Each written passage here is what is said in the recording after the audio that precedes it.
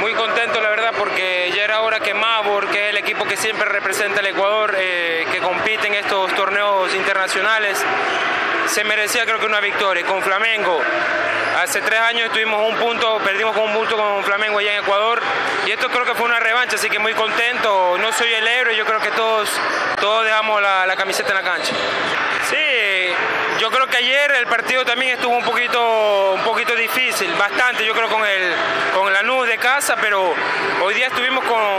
digamos, con los cinco sentidos, con ganas, con corazón, le pedimos a Dios tanto porque hay que aceptar la realidad. El equipo de, de Mauro es un equipo que está tratando de salir adelante y eso fue lo que hicimos y sorprendimos. Iniciamos desde el entrenador que sea, yo creo que vulgarmente como se dice, sea, sea encabolado en italiano con todo el equipo porque de verdad siempre estamos jugando y ay, casi, casi. La verdad que ya era hora que, que ganemos y esa es la mentalidad que se inició. Se empezó con defensa a presionar 40 minutos y eso fue yo creo que la victoria, la defensa. Pero por supuesto, esto, esto nos pone en otro nivel, ganar la Flamengo de Brasil y mañana no, no, no estamos pensando ir a participar, vamos a ir a, a ganar y, llevarnos al final y llegar a, Ecuador tal vez con esa final.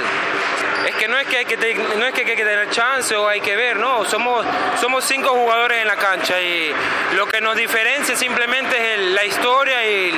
la reputación de cada jugador, pero realmente yo creo que los jugadores, mis compañeros de Ecuador, tenemos corazón, tenemos dos buenas piernas y dos buenos brazos y tenemos cualidad y, y calidad para, para ganar un partido y clasificar a una final, ¿por qué no?